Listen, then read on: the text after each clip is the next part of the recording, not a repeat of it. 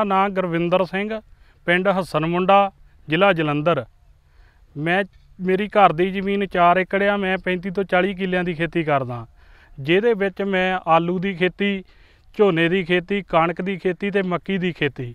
ਇਹਦੇ ਨਾਲ ਨਾਲ ਮੈਂ ਡੈਰੀ ਦਾ ਵੀ ਕੰਮ ਕਰਦਾ, ਜਿਹਦੇ ਵਿੱਚ ਮੈਂ ਤਿੰਨ ਚਾਰ ਗਾਈਆਂ, ਦੋ ਤਿੰਨ ਮੱਝਾਂ ਰੱਖੀਆਂ ਆ ਮੇਰਾ ਬਹੁਤ ਵਧੀਆ ਚੱਲਦਾ ਆ, ਘਰ ਦਾ ਜਿੰਨਾ ਵੀ ਗੁਜ਼ਾਰਾ ਬਹੁਤ ਵਧੀਆ ਹੁੰਦਾ ਆ, ਇਹਦੇ ਵਿੱਚ ਮੈਨੂੰ ਬਹੁਤ ਯਾਨੀ ਕਿ ਬੈਨੀਫਿਟ ਮਿਲਦਾ ਆ ਖੇਤੀ ਦੇ ਵਿੱਚੋਂ। ਮਿਹਨਤ ਕਰਦੇ ਆ ਤੇ ਮਿਹਨਤ ਦੇ ਵਿੱਚ ਤਾਂ ਕੁਛ ਨਾ ਕੁਛ ਆਪਾਂ ਨੂੰ ਮਿਲਦਾ ਹੀ ਆ। ਜੇ ਆਪਾਂ ਹੱਥੀਂ ਮਿਹਨਤ ਕਰਦੇ ਆ, ਅਸੀਂ ਆਪ ਹੱਥੀਂ ਮਿਹਨਤ ਕਰਦੇ ਆ, ਆਪ ਸਾਰਾ ਕੁਝ ਕਰਦੇ ਆ, ਆਲੂਆਂ ਦਾ ਆ, ਜੋ ਪਾਣੀ, ਕੀ ਸਭ ਅਸੀਂ ਆਪ ਲਾਉਨੇ ਆਲੂਆਂ ਨੂੰ, ਇੱਕ ਨਾਲ ਬੰਦਾ ਰੱਖਿਆ ਆ ਉਹਦੇ ਉਹਦੇ ਨਾਲ ਹੀ ਸਾਡਾ ਸਾਰਾ ਚੱਲਦਾ। ਇੱਕ ਬੰਦੇ ਦਾ ਨਾਲ ਰੱਖਿਆ, ਮੈਂ ਇਕੱਲਾ ਖੇਤੀ ਕਰਦਾ। ਅਸੀਂ ਖੇਤੀ ਆ, ਆਲੂ ਦੀ ਸਾਰਾ ਕਣਕ, ਝੋਨਾ, ਮੱਕੀ, ਜੋ ਸਾਰਾ ਆਪ ਹੀ ਕਰਦੇ ਆ। ਡੈਰੀ ਦਾ ਨਾਲ ਕੀਤਾ ਆ, ਉਹ ਵੀ ਅਸੀਂ ਆਪ ਹੀ ਆਪਣੇ ਹੱਥੀ ਧੰਦਾ ਸਾਰਾ ਹੀ ਕਰਦੇ ਆ। ਆਲੂਆਂ ਦਾ ਆਪਾਂ ਕਰਦੇ ਆ, ਪੱਕੀ ਵੀ ਕਰਦੇ ਆ, ਕੱਚੀ ਵੀ ਕਰਦੇ ਆ। ਕਿ ਆਪਾਂ ਕਰਦੇ ਆ ਸੀਜ਼ਨ ਦੇ ਹਿਸਾਬ ਨਾਲ ਜਿੱਦਾਂ ਆਪਾਂ ਨੂੰ ਵਧੀਆ ਰੇਟ ਮਿਲਦਾ ਆ, ਤਾਂ ਫਿਰ ਆਪਾਂ ਕਹਿ ਦਈਦਾ ਵੀ ਚਲੋ ਕੱਚੀ ਘੱਟ ਕਰ ਲੈਨੇ ਆ ਪੱਕੀ ਦੀ ਖੇਤੀ ਜ਼ਿਆਦਾ ਕਰ ਲੈਨੇ ਆ ਤਾਂ ਜੇ ਆਪਾਂ ਨੂੰ ਨਹੀਂ ਰੇਟ ਮਿਲਦਾ ਥੋੜੀ ਆਪਾਂ ਪੱਕੀ ਵੱਧ ਕਰ ਦਈਦੀ ਆ। ਜੇ ਹਿਸਾਬ ਦੇ ਨਾਲ ਆਪਾਂ ਨੂੰ ਰੇਟ ਦੇ ਹਿਸਾਬ ਨਾਲ ਜਿੱਦਾਂ ਐਤਕੀ ਲਾ ਲਓ, ਐਤਕੀ ਆਲੂਆਂ ਦਾ ਰੇਟ ਬਹੁਤ ਵਧੀਆ ਆ। ਉਹਦੇ ਵਿੱਚ ਸਾਨੂੰ ਪੱਟਣ ਦੇ ਵਿੱਚ ਜ਼ਿਆਦਾ ਫਾਇਦਾ ਮਿਲਦਾ ਵੀ ਅਸੀਂ ਆਲੂ ਆਪਣੇ ਪੱਟ ਲਈਏ। ਤਾਂ ਜੇ ਰੇਟ ਘਟਿਆ ਤਾਂ ਫੇਰ ਆਪਾਂ ਸੋਚ ਲੈਨੇ ਆ ਵੀ ਚਲੋ ਪੱਕੀ ਜ਼ਿਆਦਾ ਹੋ ਜਵੇ। ਜੇ ਪੱਕੀ ਵੀ ਹੋ ਜਵੇ ਤਾਂ ਬਾਅਦ ਵਿੱਚ ਆਪਾਂ ਮੱਕੀ ਲਾ ਲਈਦੀ ਆ। ਚਲੋ ਮੱਕੀ ਵੀ ਵਧੀਆ ਫਸਲ ਆ ਤਾਂ ਵਧੀਆ ਹੋ ਜਾਂਦੀ ਆ। ਥੋੜਾ ਰਲਮਾ ਸਿਸਟਮ ਚੱਲ ਪੈਂਦਾ, ਚ ਕੁਛ ਕਣਕ ਬੀਜ ਦੇਈਦੀ ਆ, ਕੁਛ ਮੱਕੀ ਬੀਜ ਦੇਈਦੀ ਆ। ਚਲੋ ਸਾਰੀਆਂ ਫਸਲਾਂ ਰਲਮੀਆਂ ਹੋ ਜਾਂਦੀਆਂ, ਚਲੋ ਉਹਦੇ ਨਾਲ ਬਹੁਤ ਵਧੀਆ ਕੰਮ ਚੱਲ ਪੈਂਦਾ ਆ ਸਾਰਾ। ਆਲੂਆਂ ਦੀ ਜੀ ਅਸੀਂ ਖੇਤੀ ਜਿੱਦਾਂ ਬਹੁਤ ਵਧੀਆ ਆ ਉਹਦੇ ਵਿੱਚ ਹੁਣ ਥੋੜੀ ਕਣਕ ਵੀ ਅਸੀਂ ਬੀਜੀ ਆ। ਥੋੜ੍ਹੇ ਜਿੱਦਾਂ ਵੀ 20 ਤੋਂ 25 ਕਿੱਲੇ ਆਲੂਆਂ ਦੇ ਆ, ਵਿੱਚ 10 15 ਕਿੱਲੇ ਜਿਹੜੇ ਆ ਉਹ ਸਾਡੇ ਕਣਕ ਦੇ ਵੀ ਹੈਗੇ ਆ। ਕਣਕ ਵੀ ਚਲੋ ਵਧੀਆ ਆ, ਸਾਡੀ ਸੋਧ ਕਰਕੇ ਬੀਜੀ ਆ ਕਣਕ ਵੀ ਜਿਹੜੀ ਆ, ਬਹੁਤ ਵਧੀਆ ਕਣਕ ਆ। ਹੁਣ ਅਸੀਂ ਆਲੂ ਪੱਟ ਕੇ ਉਹ ਵੀ ਕਣਕ ਬੀਜਾਂਗੇ। ਫਿਰ ਜਿਹੜੀ ਪੱਕੀ ਪਟਾਈ ਆ, ਉਹ ਅਸੀਂ ਮੱਕੀ ਲਗਾਵਾਂਗੇ। ਉਹ ਜੋ ਸਾਡਾ ਹੋਊਗਾ ਰੇਟ ਦੇ ਹਿਸਾਬ ਦੇ ਨਾਲ ਅਸੀਂ ਆਪਣਾ ਦੇਖ ਲਈਦਾ ਆ ਵੀ ਸਾਨੂੰ ਰੇਟ ਵਧੀਆ ਤਾਂ ਜ਼ਿਆਦਾ ਪਟਾਈ ਕਰ ਦੇਣੀ ਆ। ਜੇ ਰੇਟ ਘਟਿਆ ਤਾਂ ਵੀ ਅਸੀਂ ਪੱਕੀ ਦਾ ਜ਼ਿਆਦਾ ਮੱਕੀ ਦਾ ਕਰ ਲਈਦਾ ਆ। ਝੋਨੇ ਦੀ ਜੀ ਵਧੀਆ ਰਹੀ ਫਸਲ। ਝੋਨੇ ਦੀ ਤਾਂ ਚਲੋ ਇਦਾਂ ਜੀ ਪਰਾਲੀ ਦਾ ਤਾਂ ਚਲੋ ਕਹਿੰਦੇ ਹੁੰਦੇ ਆ ਵੀ ਜੇ ਕੋਈ ਸਾਨੂੰ ਖੇਤੀਬਾੜੀ ਵਾਲਿਆਂ ਵੱਲੋਂ ਕੋਈ ਸਹਾਇਤਾ ਮਿਲੇ ਤਾਂ ਹੀ ਆ, ਤਾਂ ਬਾਕੀ ਚਲੋ ਅਸੀਂ ਆਪਣੇ ਸਿਰ ਤੇ ਜਿੰਨਾ ਕੁ ਸਾਡੇ ਤੋਂ ਹੋ ਸਕਿਆ, ਅਸੀਂ ਪਰਾਲੀ ਨੂੰ ਵਾਹ ਕੇ ਖੇਤ ਦੇ ਵਿੱਚ ਉਹਨੂੰ ਜਿੱਦਾਂ ਵੀ ਮਾਲਚਰ ਲਾ ਲਓ, ਫੇਰ ਟਾਮਾ ਹਲ ਲਾ ਲਓ, ਇਹ ਫੇਰ ਕੇ ਫੇਰ ਅਸੀਂ ਰੂਟਾਵੇਟਰ ਫੇਰਦੇ ਆ, ਉਹਨੂੰ ਵਹਾਈ ਕਰਦੇ ਆ ਉਹਦੀ ਫੇਰ ਆਲੂ ਨੂੰ ਬੀਜਦੇ ਆ ਪਰ ਹੈ ਤਾਂ ਉਹ ਫਾਇਦ ਹੈ ਤਾਂ ਔਖਾ ਆ। ਇਹ ਤਾਂ ਜਿਹੜਾ ਖੇਤ ਦੇ ਵਿੱਚ ਕਿਸਾਨ ਆਪਣਾ ਕੰਮ ਕਰਦਾ ਆ, ਉਹਨੂੰ ਪਤਾ ਵੀ ਉਹ ਕਿੱਦਾਂ ਖੇਤ ਨੂੰ ਤਿਆਰ ਕਰਦਾ ਆ, ਕਿੱਦਾਂ ਵਹਾਈ ਹੁੰਦੀ ਆ, ਕਿੱਦਾਂ ਉਹ ਫਸਲ ਬੀਜਣੀ ਆ। ਤੇ ਬਾਕੀ ਚਲੋ ਜਿੱਦਾਂ ਚੱਲੀ ਜਾਂਦਾ ਆ, ਵਧੀਆ ਆ ਵੀ ਜ- ਆਲੂ ਲੱਗ ਗਏ ਆ, ਵਧੀਆ ਲੱਗ ਗਏ ਆ, ਫਸਲ ਸੋਹਣੀ ਆ। ਆਲੂਆਂ ਦੀ ਰੇਟ ਵੀ ਚੰਗਾ ਆ, ਉਹਦੇ ਵਿੱਚ ਸਾਨੂੰ ਮੁਨਾਫਾ ਵੀ ਮਿਲਦਾ ਆ। ਵਧੀਆ। ਮੇਰਾ ਨਾਮ ਹਰਪ੍ਰੀਤ ਸਿੰਘ, ਪਿੰਡ ਹਸਨ ਮੁੰਡਾ ਹੈ, ਮੈਂ ਖੇਤੀ ਆ ਖੇਤੀ ਕਰਦਾ ਹਾਂ। 35 40 ਖੇਤਾਂ ਦੀ ਖੇਤੀ ਕਰਦਾ ਹਾਂ। ਘਰ ਦੇ ਸਿਰਫ ਸਾਡੇ ਕੋਲ 4 ਏਕੜ ਹੈ ਔਰ ਡੈਰੀ ਫਾਰਮ ਦਾ ਵੀ ਕੰਮ ਕਰਦੇ ਹਾਂ। ਸਾਹੀ ਤੂੜੀ ਸਾਡੇ ਤੋਂ ਰੀਪਰ ਵੀ ਆ, ਤੂੜੀ ਦਾ ਵੀ ਕੰਮ ਕਰਦੇ ਹਾਂ, ਲੇਜ਼, ਲੇਜ਼ਰ, ਕਰਾਹਾ ਵੀ ਆ, ਉਹਦਾ ਵੀ ਕੰਮ ਕਰਦੇ ਹਾਂ। ਅਸੀਂ ਆਲੂਆਂ ਦੀ ਖੇਤੀ ਕਰਦੇ ਹਾਂ। ਪਹਿਲਾਂ ਝੋਨੇ ਦਾ ਕੰਮ ਬਾਅਦ ਵਿੱਚ ਆਲੂਆਂ ਦਾ, ਫਿਰ ਪੱਕੀ ਪਟਾਈ ਦਾ ਕੰਮ ਕਿ ਹਦਵਾਣੇ ਖਰਬੂਜੇ ਵੀ ਲਾਉਨੇ ਹਾਂ ਵਿੱਚ। 10 15 ਖੇਤ ਕਣਕ ਦੇ ਬੀਜਦੇ ਆ ਬ- ਤੇ 40 50 ਖੇਤ ਝੋਨੇ ਦੇ ਲਾਉਨੇ ਹਾਂ। ਤੇ ਉਸ ਤੋਂ ਬਾਅਦ ਕੱਚੀ ਪਟਾਈ ਦੇ ਆਲੂ ਲਾਉਨੇ ਵਿੱਚ ਫਿਰ 10 15 ਖੇਤ, ਦੂਜੇ ਆਲੂਆਂ ਦੇ ਪੱਕੀ ਪਟਾਈ ਦੇ ਲਾਉਂਦੇ ਆ।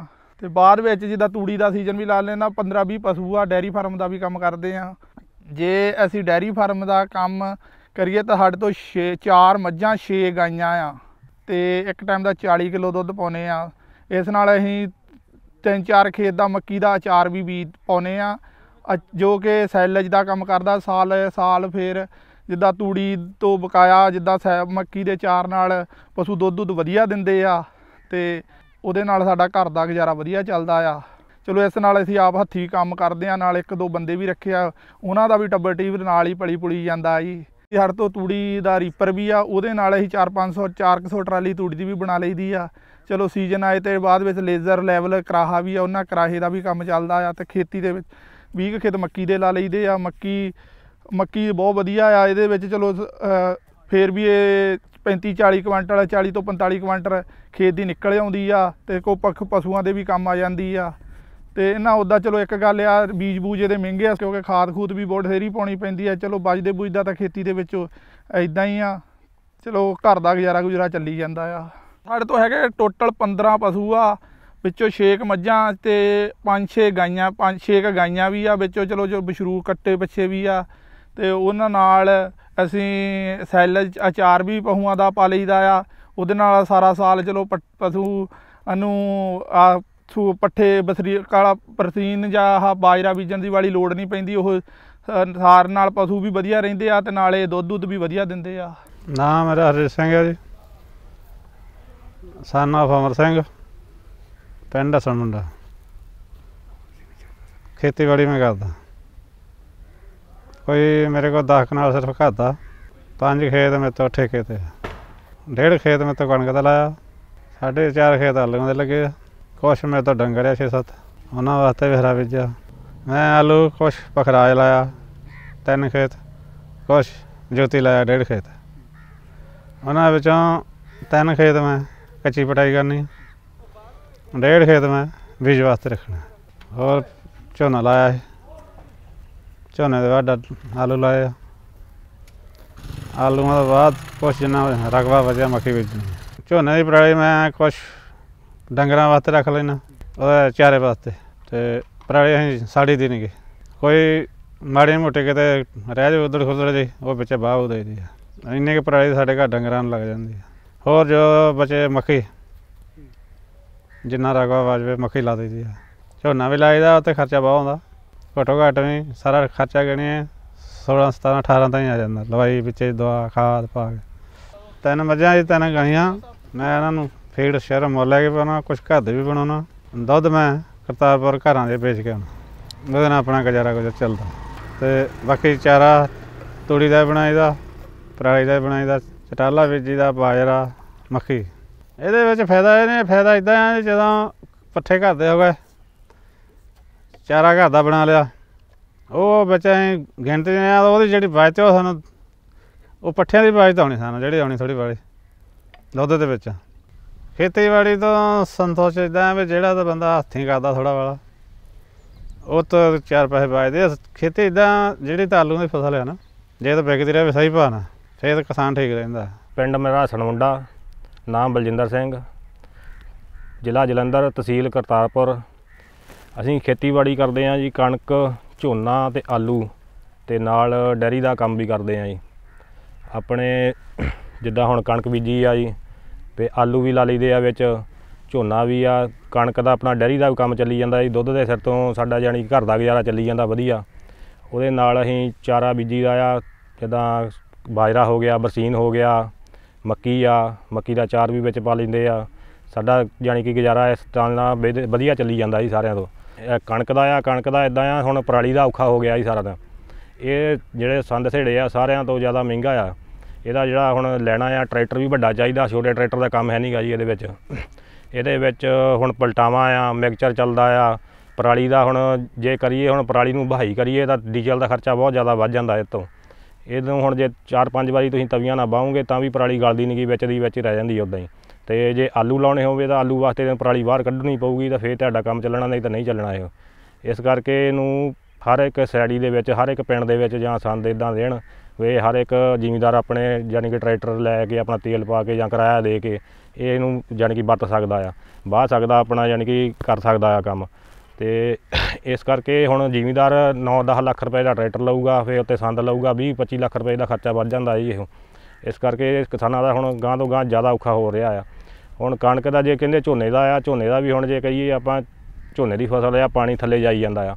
ਤੇ ਜੇ ਆਪਾਂ ਮੱਕੀ ਵੀ ਬੀਜੀ ਆ, ਮੱਕੀ 'ਚ ਵੀ ਪਾਣੀ ਉਹ ਤੋਂ ਜ਼ਿਆਦਾ ਲੱਗ ਜਾਂਦਾ ਆ। ਝੋਨੇ ਤੋਂ ਡਬਲ ਤਾਂ ਪਾਣੀ ਮੱਕੀ ਨੂੰ ਲੱਗ ਜਾਂਦਾ ਆ, ਜੇ ਮੱਕੀ ਦੀ ਫਸਲ ਵੀ ਗਾਂ ਕਰੀਏ ਆਪਾਂ। ਤੇ ਜੇ ਕਹੀਏ ਨਾ ਝੋਨਾ ਬੰਦ ਕਰ ਦੋ ਤਾਂ ਮੱਕੀ ਲਾਉਣੀ ਆ। ਮੱਕੀ ਦਾ ਕੰਮ ਵੀ ਉੱਥੇ ਆ ਜਾਂਦਾ ਆ, ਜੀ ਉਹ ਤੋਂ ਜ਼ਿਆਦਾ ਪਾਣੀ ਮੱਕੀ ਵੀ ਪੀ ਲੈਂਦੀ ਆ। ਉਹ ਮੱਕੀ ਨੂੰ ਵੀ ਉਹਨਾਂ ਪਾਣੀ ਲੱਗ ਜਾਂਦਾ ਜਿੰਨਾ ਝੋਨੇ ਨੂੰ ਲੱਗਦਾ ਆ। ਸਾਨੂੰ ਵੀ ਪਤਾ ਪਾਣੀ ਥੱਲੇ ਜਾਣ ਡਿਆ ਆ, ਪਰ ਹੁਣ ਕੀ ਕਰ ਸਕਦੇ ਆ ਇਸ ਤੋਂ ਬਗੈਰ ਹੁਣ ਗੁਜ਼ਾਰਾ ਹੈ ਨਹੀਂਗਾ ਕੋਈ।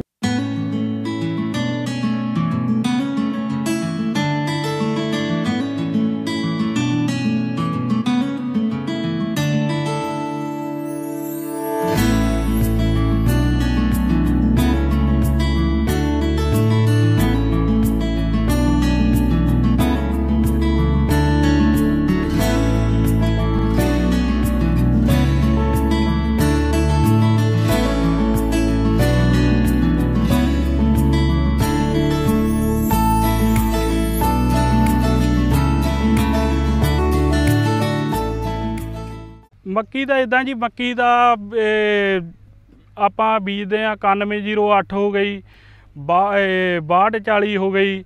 ਤਾਂ ਮਾਰਕੀਟ ਦੇ ਵਿੱਚ ਤਾਂ ਬਹੁਤ ਵੈਰਾਈਟੀਆਂ ਆ, ਜਿਹੜੀ ਆਪਾਂ ਨੂੰ ਚੰਗੀ ਲੱਗਦੀ ਆਪਾਂ ਇੱਕ ਦੋ ਬੀਜ ਲਈਦੀਆਂ ਆ, ਵੀ ਇਹ ਵੀ ਆਪਾਂ ਨੂੰ ਵਧੀਆ ਮਿਲ ਜਵੇ, ਇਹਦੇ ਵਿੱਚੋਂ ਵੀ ਕੁਛ ਰਲਾ ਮਿਲਾ ਕੇ ਵਧੀਆ ਮਿਲ ਜਵੇ ਤੇ ਉਹਦੇ ਵਿੱਚ ਆ ਵੀ ਉਹ ਗਿੱਲੀ ਚੋਖਣੀ ਹੋਵੇ ਤਾਂ 55 56 ਕੁਆਂਟਲ ਮੱਕੀ ਗਿੱਲਾ, ਗਿੱਲੀ ਤੁੱਲ ਜਾਂਦੀ ਆ।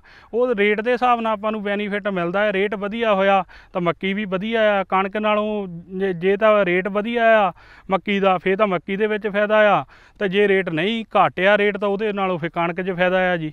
ਖੇਤੀ ਮਸ਼ੀਨਰੀ ਦੇ ਵਿੱਚ ਜੀ ਇਦਾਂ ਜੀ ਹੁਣ ਅੱਜ ਕੱਲ ਦਾ ਜਿਹੜਾ ਯੁੱਗ ਆ, ਹੁਣ ਤੁਸੀਂ ਆਪ ਹੀ ਸਾਰੇ ਸਿਆਣੇ ਆ, ਤੁਹਾਨੂੰ ਪਤਾ ਵੀ ਖੇਤੀ ਵੀ ਜਿਹੜੀ ਆ, ਹੁਣ ਮਸ਼ੀਨਰੀ ਦੇ ਸਿਰ ਤੇ ਆ। ਅੱਗੇ ਹੁੰਦਾ ਸੀਗਾ ਖੇਤਾਂ ਦੇ ਵਿੱਚ ਹਲ ਵਗਦੇ ਹੁੰਦੇ ਸੀ ਜਾਂ ਖੇਤ ਅਹ, ਵਹਾਈ ਕਰਦੇ ਹੁੰਦੇ ਸੀ ਬਲਦਾਂ ਦੇ ਨਾਲ ਉਹ ਸਮਾਂ ਤਾਂ ਹੁਣ ਚਲੋ ਨਹੀਂ ਰਹਿ ਗਿਆ।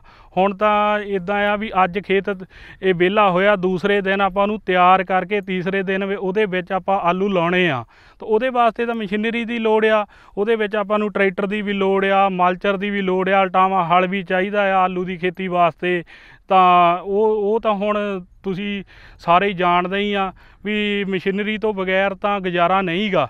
ਕਿਸਾਨ ਦਾ। ਤੇ ਕਿਸਾਨ ਵਾਸਤੇ ਹੈਗਾ ਔਖਾ ਵੀ ਆ, ਜੇ ਤਾਂ ਫਸਲਾਂ ਦੇ ਆਪਾਂ ਨੂੰ ਰੇਟ ਵਧੀਆ ਮਿਲ ਜਾਂਦੇ ਆ, ਵਧੀਆ ਆਪਣਾ ਕਣਕ ਦਾ ਰੇਟ, ਝੋਨੇ ਦਾ ਰੇਟ ਸਾਰਾ ਵਧੀਆ ਮਿਲ ਜਾਂਦਾ ਆ। ਜਾਂ ਇਹ ਆਲੂ ਲਾ ਲਓ, ਮੱਕੀ ਲਾ ਲਓ, ਜਾਂ ਕੋਈ ਹੋਰ ਵੀ ਫਸਲ ਆ, ਸਬਜ਼ੀਆਂ ਹੀ ਲਾ ਲਓ, ਕੋਈ ਵੀ ਸਬਜ਼ੀ ਆ, ਤਾਂ ਆਪਾਂ ਨੂੰ ਵਧੀਆ ਰੇਟ ਮਿਲ ਜਾਂਦਾ, ਤਾਂ ਆਪਾਂ ਆਪਣਾ ਕੋਈ ਸੰਦ ਸਿਹੜਾ ਵਧੀਆ ਲੈ ਲੈਨੇ ਆ, ਉਹ ਆਪਾਂ ਨੂੰ ਸੌਖਾ ਹੋ ਜਾਂਦਾ। ਨਹੀਂ ਤਾਂ ਫੇ ਇਦਾਂ ਜੀ ਤੁਹਾਨੂੰ ਪਤਾ ਹੀ ਆ, ਸ- ਇਹਨਾਂ ਤੋਂ ਬਗੈਰ ਤਾਂ ਆਪਣਾ ਗੁਜ਼ਾਰਾ ਨਹੀਂਗਾ ਤਾਂ ਮਸ਼ੀਨਰੀ ਦਾ ਯੁੱਗ ਆ, ਮਸ਼ੀਨਰੀ ਦੀ ਤਾਂ ਲੋੜ ਹੈਗੀ ਆ ਜੀ ਖੇਤੀ 'ਚ। ਸਾਡੇ ਕੋਲ 10 ਪਸ਼ੂ ਆ, ਖੇਤੀ ਦੇ ਨਾਲ ਨਾਲ ਡੈਰੀ ਕਰਦੇ ਆ 10 ਪਸ਼ੂ ਆ, ਉਹਦੇ ਵਿੱਚ ਅਸੀਂ ਜਿੱਦਾਂ ਹੁਣ ਪੱਠੇ ਪਸ਼ੂਆਂ ਦੇ ਆ, ਉਹ ਅਸੀਂ ਬਾਜਰਾ ਬੀਜ ਲਿਆ, ਚਾਹੇ ਉਹ ਬਰਸੀਨ ਆ, ਜੇ ਹਿਸਾਬ ਨਾਲ ਮੌਸਮ ਦੇ ਹਿਸਾਬ ਨਾਲ ਫਸਲ ਹੁੰਦੀ ਆ। ਬਰਸੀਨ ਹੋ ਗਿਆ, ਚਾਹੇ ਆਪਾਂ ਕੋਈ ਹੋਰ ਚਾਰਾ ਤਿਆਰ ਕਰਦੇ ਆ, ਉਹਨਾਂ ਨੂੰ ਫੀਡ ਪਾਉਨੇ ਆ, ਉਹ ਦੁੱਧ ਆ, ਦੁੱਧ ਚਲੋ ਸਾਡਾ ਰੋਜ਼ ਦਾ ਦੁੱਧ ਜਿਹੜਾ 15 ਲੀਟਰ 20 ਲੀਟਰ ਹੋ ਜਾਂਦਾ, ਉਹਦੇ ਵਿੱਚ ਸਾਡੀ ਜਿੰਨੀ ਲੇਬਰ ਲੱਗੀ ਆ, ਉਹਦਾ ਵੀ ਗੁਜ਼ਾਰਾ ਵਧੀਆ ਹੋ ਜਾਂਦਾ ਆ, ਚਾਹ ਪਾਣੀ ਦਾ ਸਾਡਾ ਆਪਣਾ ਘਰ ਦਾ ਵੀ ਚਾਹ ਪਾਣੀ ਦਾ ਵਧੀਆ ਹੋ ਜਾਂਦਾ, ਫਿਰ ਜਿਹੜਾ ਥੋੜਾ ਬਚ ਵੀ ਜਾਂਦਾ, ਆਪਣਾ ਕਈ ਵਾਰੀ 10 ਲੀਟਰ ਬਚ ਜਾਵੇ 12 ਬਚ ਜਾਵੇ, ਉਹ ਆਪਾਂ ਡੈਰੀ ਦੇ ਵਿੱਚ ਪਾ ਕੇ ਚਲੋ ਉਧਰੋਂ ਵੀ ਆਪਾਂ ਨੂੰ ਮੁਨਾਫਾ ਹੁੰਦਾ ਆ। ਉਹ ਵੀ ਖੇਤੀ ਦੇ ਨਾਲ ਨਾਲ ਇਹ ਵੀ ਧੰਦਾ, ਡੈਰੀ ਦਾ ਵੀ ਧੰਦਾ ਬਹੁਤ ਵਧੀਆ ਖੇਤੀ ਦੇ ਨਾਲ ਨਾਲ ਤਾਂ ਇਹ ਵੀ ਚੱਲਦਾ ਵਧੀਆ ਆ। ਪਾਣੀ ਬਾਰੇ ਜੀ ਹੁਣ ਪਾਣੀ ਇਦਾਂ ਜੀ, ਹੁਣ ਕੱਲਾ ਕਿਸਾਨ ਤੇ ਤਾਂ ਗੱਲ ਆਪਾਂ ਲਿਆ ਨਹੀਂ ਸਕਦੇ ਵੀ ਇਹਦੇ ਵਿੱਚ ਕਿਸਾਨ ਇਕੱਲੇ ਦਾ ਕਸੂਰ ਆ। ਪਾਣੀ ਆਪਾਂ ਇਕੱਲੇ ਕਿਸਾਨ ਨੂੰ ਕਹੀ ਜਾਂਦੇ ਆ ਵੀ ਉਹ ਕਿਸਾਨ ਜੀ ਇਹੋ ਝੋਨੇ ਕੱਲਾ ਝੋਨੇ ਤੇ ਥੋੜੋ ਪਾਣੀ ਵਰਤ ਹੁੰਦਾ ਜੀ। ਜੇ ਆਪਾਂ ਲਾਈਏ ਵੀ ਝੋਨੇ ਤੇ ਹੀ ਕੱਲਾ ਪਾਣੀ ਦੀ ਖਪਤ ਆ ਵੀ ਕਿਸਾਨ ਪਾਣੀ ਥੱਲੇ ਜਾਈ ਜਾਂਦਾ ਆ। ਹਰ ਇੱਕ ਚੀਜ਼ ਆ, ਜੇ ਤੁਸੀਂ ਸ਼ਹਿਰਾਂ ਦੇ ਵਿੱਚ ਲਾ ਲਓ, ਗੱਡੀਆਂ ਆ, ਆਪਣੇ ਵਾਸ਼ ਹੁੰਦੀਆਂ ਆ ਉਹ ਸਾਰੀਆਂ, ਉਹ ਪਾਣੀ ਦੇ ਨਾਲ ਹੀ ਹੁੰਦੀ ਆ, ਕਿੰਨਾ ਪਾਣੀ ਉੱਤੇ ਵੀ ਖਾ- ਹੋਣ ਡਿਆ ਖਰਾਬ। ਪਰ ਆਪਾਂ ਇੱਕ ਗੱਲ ਆ ਵੀ ਉਹ ਵੀ ਉਹ ਜ਼ਰੂਰਤ ਆ ਆਪਾਂ, ਹਰ ਇੱਕ ਜ਼ਰੂਰਤ ਪਾਣੀ ਦੇ ਨਾਲ ਜੁੜੀ ਆ। ਕਹਿੰਦੇ ਵੀ ਕਿਰਤ ਕਰਨੀ ਚਾਹੀਦੀ ਆ ਆਪਣੇ, ਕਹਿੰਦੇ ਹੁੰਦੇ ਵੀ ਜੇ ਆਪਾਂ ਆਪਣੇ ਹੱਥੀਂ ਮਿਹਨਤ ਕਰਦੇ ਆ ਆਪਾਂ ਨੂੰ ਚਲੋ ਬਹੁਤ ਵਧੀਆ ਮੁਨਾਫਾ ਮਿਲਦਾ ਆ। ਸਾਰਿਆਂ ਨੂੰ ਇਹੋ ਹੀ ਆ ਵੀ ਚਲੋ ਖੇਤੀ ਕ- ਕਰਦੇ ਆ ਵੀ ਜਦ, ਚਲੋ ਠੀਕ ਆ, ਕਿਤੇ ਬਾਹਰ ਦਾ ਬਣ ਗਿਆ, ਆਪਾਂ ਚੱਲ ਗਏ, ਉਥੇ ਕਰਨ ਲੱਗ ਪਏ, ਠੀਕ ਆ। ਜਿੰਨਾ ਚਿਰ ਆਪਾਂ ਇੱਥੇ ਆ, ਉਨਾ ਚਿਰ ਆਪਾਂ ਨੂੰ ਆਪਣਾ ਖੇਤੀ ਦਾ ਧੰਦਾ ਕਰ ਲੈਣਾ ਚਾਹੀਦਾ। ਜੇ ਆਪਾਂ ਨੂੰ ਕੋਈ, ਆਪਾਂ ਨੂੰ ਨੌਕਰੀ ਮਿਲਦੀ ਆ, ਠੀਕ ਆ, ਜਿਹੜਾ ਆਪਣਾ ਨਹੀਂ ਕੋਈ ਨੌਕਰੀ ਪੇਸ਼ੇ ਵਾਲਾ ਬੰਦਾ, ਉਹ ਆਪਣਾ ਕੋਈ ਡੈਰੀ ਦਾ ਕਰ ਲਵੇ, ਖੇਤੀ ਦਾ ਕਰ ਲਵੇ, ਚਾਹੇ ਕੋਈ ਆਪਣੀਆਂ ਸਬਜ਼ੀਆਂ ਲਾ ਲਵੇ ਉਹਦੇ ਵਾਸਤੇ ਉਹ ਵਧੀਆ ਆ, ਕੰਮ ਕਰਨਾ ਚਾਹੀਦਾ ਜੀ। ਅੱਜ ਦਾ ਟਾਈਮ ਜਿਹੜਾ ਕੰਮ ਕਰਨ ਦਾ ਟਾਈਮ ਆ ਜੀ। ਮੰਡੀਕਰਨ ਚਲੋ ਉੱਦਾਂ ਤਾਂ ਵਧੀਆ ਆ, ਮੰਡੀ ਕਾਰਨ ਸਾਡੇ ਲਾਗੇ ਕਰਤਾਰਪੁਰ ਮੰਡੀ ਆ। ਇੱਥੇ ਉੱਦਾਂ ਵਧੀਆ ਆ, ਪਰ ਇਸ ਕਰਕੇ ਜਿੰਨਾ ਖਰਚਾ ਆ ਉਹਨਾਂ ਫਸਲਾਂ ਦਾ ਮੁੱਲ, ਸਮਰਥਨ ਮੁੱਲ ਘੱਟ ਆ। ਕਿਉਂਕਿ ਖਰਚਾ ਫਸਲਾਂ ਤੇ ਜ਼ਿਆਦਾ ਆਉਂਦਾ ਆ, ਮੁੱਲ ਫਸਲਾਂ ਦਾ ਘੱਟ ਆ। ਜ਼ਿਮੀਦਾਰ ਮਿਹਨਤ ਤਾਂ ਬਹੁਤ ਕਰਦਾ ਆ, ਪਰ ਫਸਲਾਂ ਦਾ ਮੁੱਲ ਇਹਨਾਂ ਨੂੰ ਵਧਾਉਣਾ ਚਾਹੀਦਾ ਆ। ਕਿਉਂਕਿ ਜਿੱਦਾਂ ਕਣਕ ਝੋਨੇ ਦਾ, ਚਲੋ ਐਤਕੀ ਝੋਨੇ ਦੀ ਫਸਲ ਬਹੁਤ ਬੰਪਰ ਸੀ, ਵਧੀਆ ਸੀ। ਹੈ, ਇਸ ਕਰਕੇ ਝੋਨਾ ਵਧੀਆ, ਸਾਰੇ ਜ਼ਿਮੀ- ਜ਼ਿਮੀਦਾਰ ਭਰਾਵਾਂ ਦਾ ਝੋਨਾ ਵਧੀਆ ਨਿਕਲਿਆ ਆ। ਚਲੋ ਆਲੂ ਬਾਅਦ ਵਿੱਚ ਅਸੀਂ ਕੱਚੀ ਬਟਾਈ ਦੇ ਆਲੂ ਵੀ ਲਾਏ ਆ, ਹੁਣ ਆਲੂਆਂ ਦਾ ਰੇਟ ਵੀ ਵਧੀਆ ਆ। ਤੁਹਾਨੂੰ ਪਤਾ ਮਸ਼ੀਨਰੀ ਮਹਿੰਗੀ ਆ, ਇਹ ਲੈਣੀ ਹਰ ਇੱਕ ਜ਼ਿਮੀਦਾਰ ਤੋਂ ਔਖੀ ਆ, ਕਿਉਂਕਿ ਮਸ਼ੀਨਰੀ ਬਹੁਤ ਲੱਗਦੀ ਆ। ਇਸ ਵਿੱਚ ਜਿੱਦਾਂ ਹੁਣ ਅਲਟਾਮਾ ਹਾਲਿਆ 2-3 ਲੱਖ ਦੇ ਅਲਟਾਮੇ ਹਾਲਿਆ ਮਲਚਰ ਆ 8-10 ਲੱਖ ਦਾ ਟਰੈਕਟਰ ਲਿਆ ਛੋਟੇ ਜ਼ਿਮੀਦਾਰ ਲਈ ਤੇ ਵਿਚਾਰੇ ਲਈ ਬਹੁਤ ਔਖਾ ਆ। ਤੇ ਜਿੱਦਾਂ ਵੱਡਾ ਜ਼ਿਮੀਦਾਰ ਤਾਂ ਲੈ ਸਕਦਾ ਹੈ। ਜਿਹੜਾ ਬੰਦਾ ਹੱਥੀ ਮਿਹਨਤ ਆਪ ਕਰਦਾ ਆ, ਉਹ ਤਾਂ ਜਿਹੜੇ ਪਰਿਵਾਰ ਦੇ 2-4 ਜਿੱਦਾਂ ਮੈਂਬਰ ਘਰ ਦੇ ਆ, ਉਹਨਾਂ ਨੂੰ ਆਪ ਮਿਹਨਤ ਕਰਨੀ ਚਾਹੀਦੀ ਆ। ਘੱਟ ਤੋਂ ਘੱਟ ਲੇਬਰ ਰੱਖ ਸਕੇ। ਕਿਉਂਕਿ ਜਿੱਦਾਂ ਜਿਹੜਾ ਹੁਣ ਬਗਾਨਿਆਂ ਤੋਂ ਕਿਸੇ ਦੇ ਕੋਲ ਵੱਡਾ ਟਰੈਕਟਰ ਆ, ਤੇ ਪਾਪੜ ਤੋਂ ਛੋਟਾ ਆ, ਜਿੰਨਾ ਚਿਰ ਆਪਾਂ ਉਹਨਾਂ ਦੇ ਨਹੀਂ ਆਪਣੇ ਤੋਂ ਹੁੰਦੇ, ਆਪਾਂ ਨਹੀਂ ਉਹ ਸ਼ੌਂਕ ਪਗਾ ਸਕਦੇ, ਠੀਕ ਆ ਜੀ? ਇਸੇ ਕਰਕੇ ਜ਼ਿਮੀਦਾਰ ਭਰਾ ਨੂੰ ਇਹ ਕਹਿਣਾ ਚਾਹੀਦਾ ਕਿ ਜਿੱਦਾਂ ਆਪਣੀ ਜਿੰਨੀ ਕੁ ਚਾਦਰ ਆ ਉਨਾ ਕੀ ਦੇਰ ਕੇ ਪੈਰ ਬਸਾਰਨੇ ਚਾਹੀਦੇ ਆ। ਜੇ ਆਪਾਂ ਤੋਂ ਨਹੀਂ ਮਸ਼ੀਨਰੀ ਲੈ ਹੁੰਦੀ, ਤੇ ਆਪਾਂ ਨੂੰ ਜਿੱਦਾਂ ਛੋਟੇ ਜਿੱਦਾਂ ਕੋਪਰੀ ਸਟੈਡੀਆਂ ਜੋ ਸੰਦ ਮਿਲਦੇ ਆ, ਉੱਥੋਂ ਆਪਾਂ ਲੈ ਕੇ ਆਪਣਾ ਟਾਈਮ ਪਾਸ ਕਰ ਸਕਦੇ ਆ। ਆਪਾਂ ਜ਼ਿਮੀਦਾਰ ਭਰਾਵਾਂ ਨੂੰ ਇਹੋ ਹੀ ਦੇਣਾ ਚਾਹੁੰਦੇ ਆ ਕਿ ਹੱਥੀ ਸਾਰੇ ਆਪ ਮਿਹਨਤ ਕਰੋ। ਠੀਕ ਨਹੀਂ? ਮਿਹਨਤ ਕਰਕੇ ਘੱਟ ਤੋਂ ਘੱਟ ਲੇਬਰ ਰੱਖੋ, ਜਿੱਦਾਂ ਆਪਾਂ ਹੁਣ ਬਾਹਰ ਜਾਂਦੇ ਆ ਆਪਾਂ ਕਿੰਨੀ ਮਿਹਨਤ ਕਰਦੇ ਆ ਉੱਥੇ ਜਾ ਕੇ ਆਪਾਂ ਇੰਨੀ ਮਿਹਨਤ ਕਰਦੇ, ਜੇ ਆਪਾਂ ਉੱਥੇ ਦੇ ਹਿਸਾਬ ਨਾਲ ਇੱਥੇ ਉਨੀ ਮਿਹਨਤ ਕਰੀਏ, ਹੈਂ? ਤੇ ਚਲੋ ਆਪਾਂ ਆਪਣੇ ਪਰਿਵਾਰ ਦਾ ਗੁਜ਼ਾਰਾ ਵਧੀਆ ਤਰੀਕਾ ਨਾਲ ਕਰ ਸਕਦੇ ਆ ਹੁਣ ਜੇ ਡੈਰੀ ਦਾ ਕਰਦੇ ਆ ਡੈਰੀ ਦਾ ਵੀ ਪੂਰਾ ਦੁੱਧ ਦਾ ਰੇਟ ਨਹੀਂ ਮਿਲਦਾ। ਉਹ ਵੀ 30 40 ਰੁਪਏ ਤੋਂ ਇੱਥੇ ਪਿੰਡ ਦੇ ਵਿੱਚ ਘੱਟ ਮਿਲਦਾ 20 25 ਰੁਪਏ 35 ਰੁਪਏ ਤੱਕ ਮਿਲਦਾ। ਸ਼ਹਿਰ ਲੈ ਕੇ ਜਾਓਗੇ ਤੁਸੀਂ ਇਕੱਲੇ ਇਕੱਲੇ, ਤਾਂ ਤੁਹਾਨੂੰ 30 40 ਰੁਪਏ 45 50 ਰੁਪਏ ਇੱਥੇ ਤੱਕ ਮਿਲਦਾ, ਨਹੀਂ ਤਾਂ ਨਹੀਂ ਮਿਲਦਾ। ਇਹ ਵੀ ਘਟਦਾ, ਇੱਥੇ ਇੱਥੇ ਦਾ ਇਹ ਹੁੰਦਾ ਆ ਵੀ ਘਰ ਦਾ ਘਰ ਚੱਕ ਕੇ ਬੰਦਾ ਪਾ ਲੈਂਦਾ ਆ। ਇੱਥੇ ਫਾਇਦਾ ਹੋ ਜਾਂਦਾ ਹੈ ਜੇ ਸ਼ਹਿਰ ਜਾਣਾ, ਟਾਈਮ ਖਰਾਬ ਹੋ ਜਾਂਦਾ, ਉਹਨੇ 'ਚ ਬੰਦਾ ਕੰਮ ਕਰਦਾ ਆ। ਆਪਣੇ ਕੰਮਕਾਰ ਹੋਰ ਵੀ ਕਰਨੇ ਹੁੰਦੇ ਆ, ਕਈ ਰਹਿੰਦੇ ਹੁੰਦੇ ਆ। ਸਵੇਰੇ ਸਵੇਰੇ ਉਹੀ ਕੰਮ ਦਾ ਟਾਈਮ ਹੁੰਦਾ, ਉਹ ਸ਼ਹਿਰ ਲੈ ਕੇ ਜਾਓ, ਕਿੰਨਾ ਫ਼ਰਕ ਪੈ ਜਾਂਦਾ ਆ ਜੀ। ਇਸ ਕਰਕੇ ਡੈਰੀ ਦਾ ਕੰਮ ਵੀ ਇਦਾਂ ਹੀ ਆ ਵੀ ਜੇ ਥੋੜਾ ਥੋੜਾ ਆ ਨਾਲ ਆ ਤਾਂ ਚੱਲੀ ਜਾਂਦਾ ਤਾਂ ਉਸਦਾ ਗੁਜ਼ਾਰਾ ਚੱਲੀ ਜਾਂਦਾ ਆ, ਜਿੱਦਾਂ 10 ਪਸ਼ੂ ਆ 10 ਏਕੜ ਪੈਲੀ ਆ, ਉਹਦਾ ਕਰਕੇ ਕੰਮ ਥੋੜਾ ਥੋੜਾ ਜਿੱਦਾਂ ਚੱਲੀ ਜਾਂਦਾ, ਘਰ ਦਾ ਗੁਜ਼ਾਰਾ ਦੁੱਧ ਸਿਰ ਤੋਂ ਚੱਲੀ ਜਾਂਦਾ ਆ। ਤੇ ਜਿਹੜਾ ਖੇਤੀ ਦਾ ਕੰਮ ਆ, ਉਹ ਉਹਦੀ ਬਚਤ ਹੋਈ ਜਾਂਦੀ ਆ, ਚਲੋ ਜਿਹੜਾ ਆਪਾਂ ਜੇ ਖੇਤੀ ਤੋਂ ਲਾਈਏ, ਫਿਰ ਤਾਂ ਜ਼ਿਮੀਦਾਰ ਨੂੰ ਬਚਦਾ ਹੀ ਕੁਛ ਨਹੀਂਗਾ ਜੇ ਆਪਾਂ ਇਹ ਡੈਰੀ ਦਾ ਨਾਲ ਨਾ ਕਰੀਏ, ਤੇ ਉਹਦੇ ਵਿੱਚੋਂ ਬਚਦਾ ਕੁਛ ਨਹੀਂਗਾ ਇਸ ਕਰਕੇ ਡੈਰੀ ਦਾ ਨਾਲ ਵੀ ਥੋੜਾ ਥੋੜਾ ਕਰਨਾ ਪੈਂਦਾ ਆ, ਆਲੂਆਂ ਦਾ ਵੀ ਕਰਨਾ ਪੈਂਦਾ ਨਾਲ। ਆਲੂ ਵੀ ਬਹੁਤ ਲਾ ਕੇ ਕਈ ਵਾਰੀ ਆਲੂਆਂ ਦਾ ਹੁਣ ਇਸ ਵਾਰ ਰੇਟ ਹੈਗਾ ਆ, ਕਈ ਵਾਰ ਰੇਟ ਹੁੰਦਾ ਹੀ ਨਹੀਂਗਾ, ਬਿਲਕੁਲ ਹੀ ਡਾਊਨ ਹੋ ਜਾਂਦੇ ਆ। ਉੱਥੇ ਵੀ ਕਿਸਾਨ ਥੱਲੇ ਲੱਗ ਜਾਂਦਾ ਜਾ ਕੇ। ਇਸ ਕਰਕੇ ਇਹ ਥੋੜਾ ਥੋੜਾ ਜਿੱਦਾਂ ਦੇਖਣਾ ਪੈਂਦਾ ਜੀ। ਆਪਣੇ ਹਿਸਾਬ ਦਾ ਵੀ ਕਿੱਦਾਂ ਆਲੂ ਲੱਗਣੇ ਆ। ਹੁਣ ਰੇਟ ਹੈਗਾ ਆ, ਮੁੜ ਕੇ ਇਹਦਾ ਪਤਾ ਨਹੀਂ ਕੱਲ ਨੂੰ ਕੀ ਰੇਟ ਥੱਲੇ ਨੂੰ ਹੋ ਜਾਣਾ ਕਿ ਵੱਧ ਜਾਣਾ ਕਿ ਘਟ ਜਾਣਾ, ਇਹਦਾ ਕੋਈ ਪਤਾ ਨਹੀਂਗਾ ਜੀ। ਇਸ ਕਰਕੇ ਆਲੂਆਂ ਦਾ ਵੀ ਤੇ ਮੱਕੀ ਦਾ ਵੀ ਕੋਈ ਪਤਾ ਨਹੀਂ, ਮੱਕੀ ਜਿਹੜੀ ਗਿੱਲੀ ਆ, ਉਹ ਜੇ ਹੈਗਾ ਤਾਂ 8-900 ਵੀ ਮਿਲ ਜਾਂਦਾ, ਬਿਲਕੁਲ ਥੱਲੇ ਵੀ ਆ ਜਾਂਦਾ 5-600 ਨੂੰ ਵੀ ਆ ਜਾਂਦਾ ਆ।